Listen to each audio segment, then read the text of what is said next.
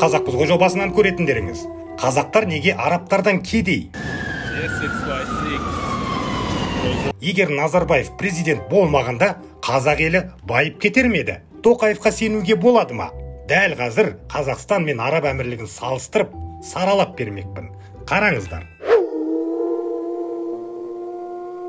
Ассалаумағалейкум қасқыр мінез қазағым.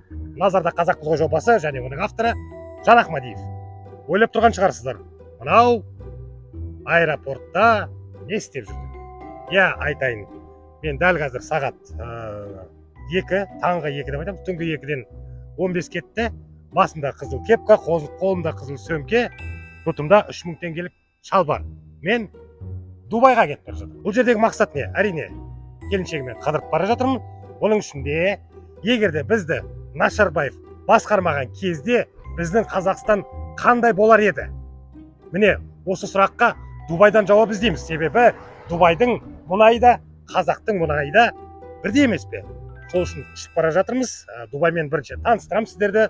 Сонымен қатар қызықты сәттерді жеткіземін қазақстанмен салыстыру ең басты ә, мәселе осы дубай мен қазақстанды салыстыру. Біз егер де нашарбаев болмаған кезде қандай дәрежеде өмір сүретін едік соны көретін боласыздар.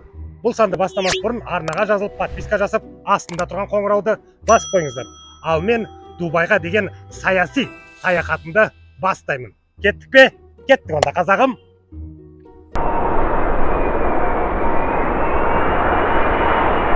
Дубайға дырылдатып отырып төрт сағатта жетіп бардық. Дубайдың әуежайынан түсе салып әсте бір басқа планетаға келгендей әсер алғаным рас. Туф адамға деген адалдықтың бар екені көрініп ақ тұр ғой шіркін.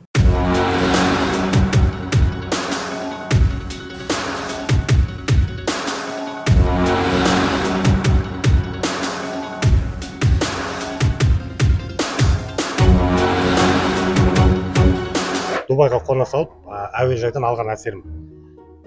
Кез келген жерде мынандай ә, құрылғы бар. Бұдан яғни су ішесіз таза су кәдімгі минералды. Біздің аэропорттарда нөл пять судың әкесін ауыз деген шыны керек мың теңге мың жарым теңге тұрады. Жоқ дегенде бес жүз теңге тұрады. Қараңыздаршы қандай жасап қойған міне ең бірінші алған әсерім дубайдан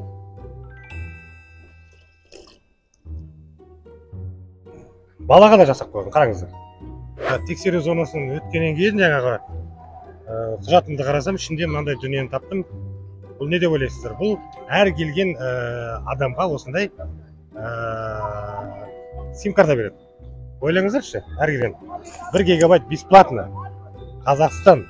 Шынында да жұртының жағдайын жасап қойған патшасы бар.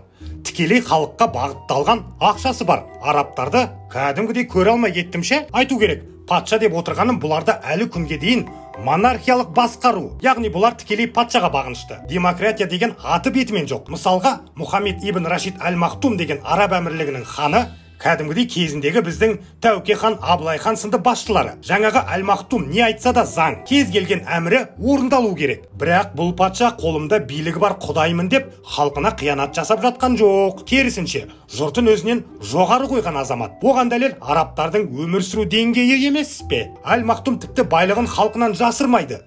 Себебі елі де тоқ өзі де тоқ.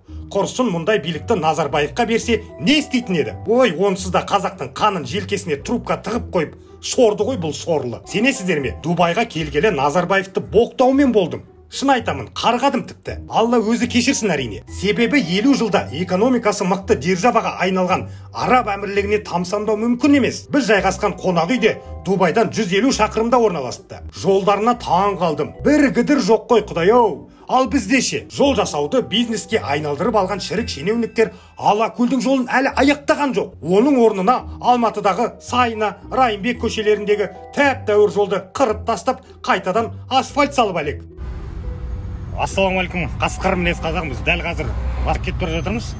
Мына қу биліктің мына дебил мына әп әдемі жолды алып қырып қайтадан ремонт жасап жатыр. Эх шенеуніктер ай! Ақша жеудің амалы бітті деген осы шығар. Бірақ қазақты мал санайтын бұл нақұрыстар бәрібір жейді ғой. Жегендерің желкелеріңнен шықсын.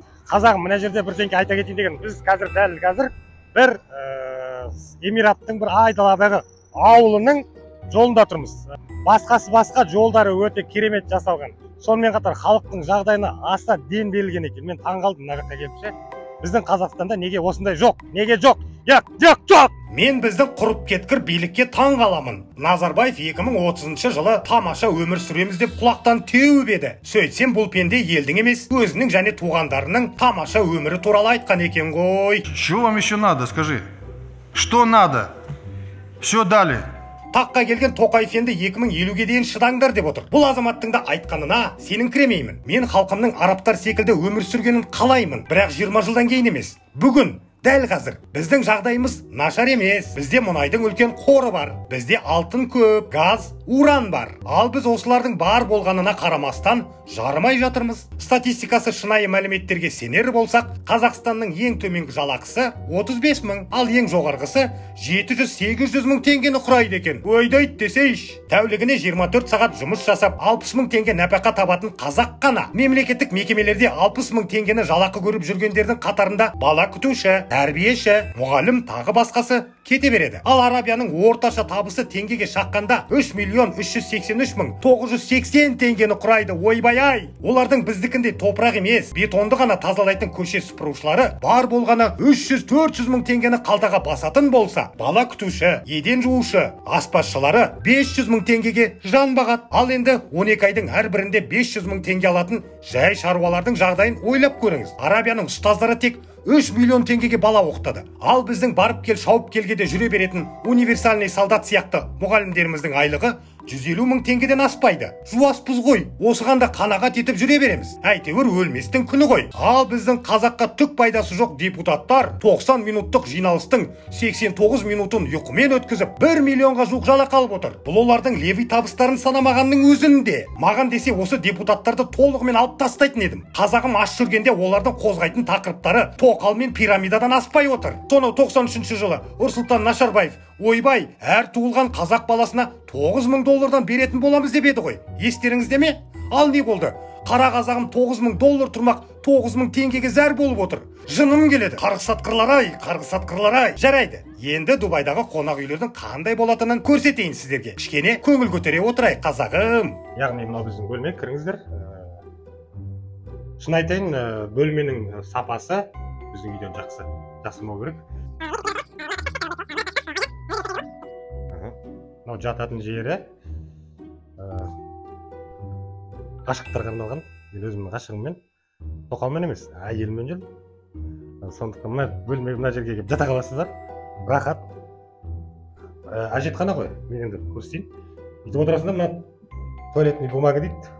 Код сүртетін қағаз бітіп қалса бүйтесің да нөлді баса саласың звондайсың туалетте әкеліп береді екен. Енді бұндай жағдай қай елде жасалған иә мыналардың бәрін көрсетіп жүргенде сіздер ойлап қалған шығарсыз е мына бала түк көрмеген екен ғой деп иә мен түк көрмегенмін сондықтан мынаның бәрі маған таңсық болып тұр да содан кейін сіздерге көрсетіп жатырмын енді араларыңызда саяхаттап жүрген ә, жағдайы жақсы бай азаматтар бар шығар менің көрермендерім ішінде десе де мен шығып көрмегенмін бұндайды көрмегенмін жабайымыз ғой кәдімгі айтқан кезде мынаның ішін көріп мә мынандай сейфі бар екен деп ыыы қалып жүрміз ғой мына жерде кәдімгідей кофе ішіп табиғатқа қарап отырып рахаттануға болады. Суына келер болсақ тура мына жерде жүз метр жерде үнді мұхиты орналасқан. Бірақ үнді мұхитының суына түсу ә, мүмкін емес негізі. Өйткені өте тұзды екен. Қысқасы айтқанда біздің алакөлдің суына жетпейді. Айта кетейін дубай мен қазақстан мұнайын салыстыратын болсақ бізде мұнай дубайдан қарағанда көп. Бірақ та өмір сүру деңгейін салыстырсақ дубай деген бізден елу жылға алдыға кетіп қалған. Осының бәріне қазақтар кінәлі емес бұған кінәлі тек нашарбаев соның қасындағы жемқорлар ғой 200 миллиард долларды елден ұрлап кеткен.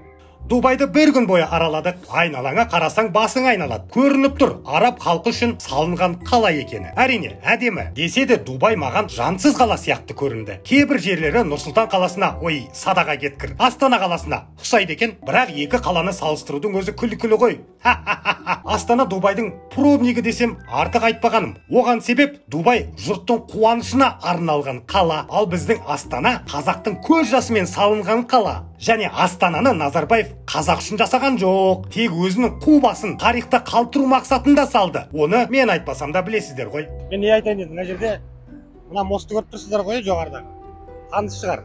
Бұны да бізде астанада салайын деді бірақ астанада салынбады. Неге екенін білесіздер? Біздің шірік басқан жемқор шенеуніктер қалтасында басып алды. Егер де олар болмаған жағдайда бізде де осындай мост болар ма еді? Кім білсін? Қалай болғанда да өзімнің кіндік қаным тамған есі маған жақын жанымдай қазақстаныма жетпейді. Өзіміздің қазақстанды қатты бағалау керек екенбіз. А, неге? Себебі бізде керемет төрт мезгіл бар. Мына жақта бір ақ мезгіл.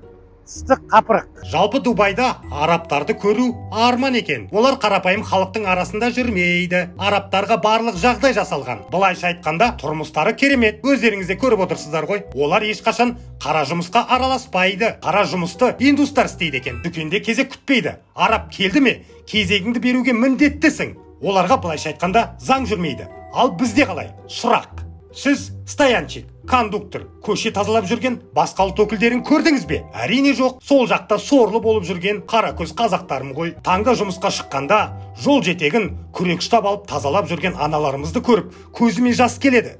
Өтірік емес қой мен нацист емеспін десе де өз елінде қаңғып жүрген жуас қазақтарға қарап жүрегім шаншиды. Мемлекетіміздің атауы қазақ стан емес пе?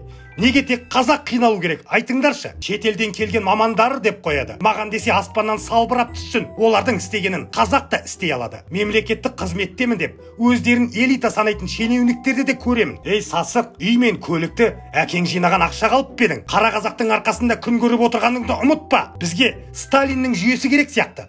Атып атып тастау керек. Көрейік. Элиталарды сонда жерде пәтерде бірінші қазаққа берілу керек. Экономикамыз мықты. Елу елдің қатарындамыз деп мақтанамыз ғой. Әй қайдам? Халық аш күн көре алмай жүр. Барына қанағат деп жүре береміз. Жуаспыз ғой. Бірақ шыдамның да шегі бар. Ертең еті қалған есек сияқты сүмірейіп қаласыңдар ғой ей билік. Кеш болмай тұрып жұртпен санасыңдар. Әйтпесе қиын болады. Міне дубайға барып осындай ашулы әсермен қайттым. Қысқыр мінез қазағым. Егер бұл шығарылым ұнаса лайк басып астына өз пікірлеріңізді жазуды ұмытпаңыздар. Арнаға жазылып қоңырауды басып қойыңыздар. Осы арқылы ақиқаттың астарын ақтаратын видеолардың шыққанын біліп отырасыздар. Ал келесі санда шымкенттің экс әкімі болған тоқал алғыш ғабидулла абдрахимовтың шынайы келбетін сіздерге көрсетпекпін. Шымкент қаласы зың. Күтіңіздер. Назарда болған жан ахмадиев және қазақпыз ғой жобасы кездескенше күн жақсы.